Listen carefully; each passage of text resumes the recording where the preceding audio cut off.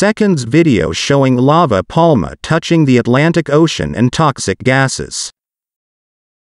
Bright red river of lava from the volcano on Spain's La Palma Island finally tumbled over a cliff and into the Atlantic Ocean, setting off huge plumes of steam and possibly toxic gases that forced local residents outside the evacuation zone to remain indoors on Wednesday.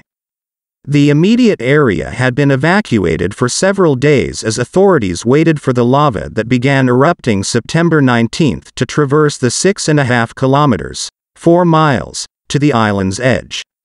On the way down from the Cumbre Vieja volcanic ridge, the lava flows have engulfed at least 656 buildings, mostly homes and farm buildings, in its unstoppable march to the sea. The meeting of molten rock and seawater finally came at 11 p.m. on Tuesday.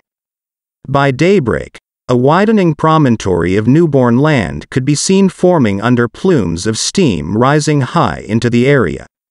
Even though initial air quality readings showed no danger in the area, Experts had warned that the arrival of the lava at the ocean would likely produce small explosions and release toxic gases that could damage lungs. Authorities established a security perimeter of 3.5 kilometers, about 2 miles, and asked residents in the wider area to remain indoors with windows shut to avoid breathing in any gases. No deaths or serious injuries have been reported from the island's first eruption in 50 years, thanks to the prompt evacuations of over 6,000 people after the ground cracked open following weeks of tremors. The flattening of the terrain as it approached the coast had slowed down the flow of the lava, causing it to widen out and do more damage to villages and farms. The local economy is largely based on agriculture, above all the cultivation of the canary plantain.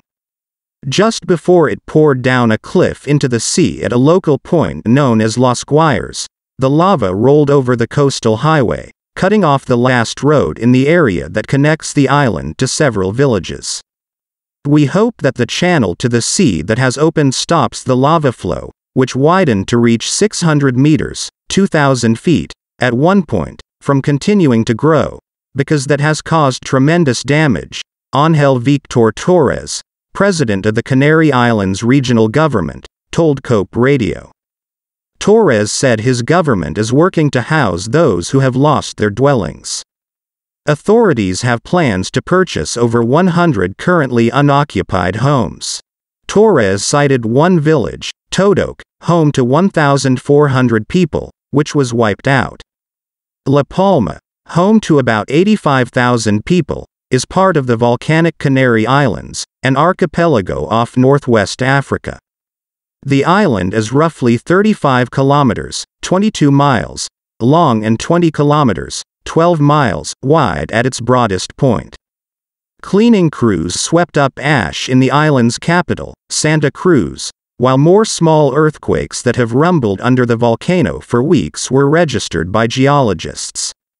Favorable weather conditions allowed the first flight in five days to land at airport on La Palma, an important tourist destination along with its neighboring Canary Islands, despite a huge ash cloud that Spain's National Geographic Institute said reached up to 7 kilometers, nearly 4.5 miles, high.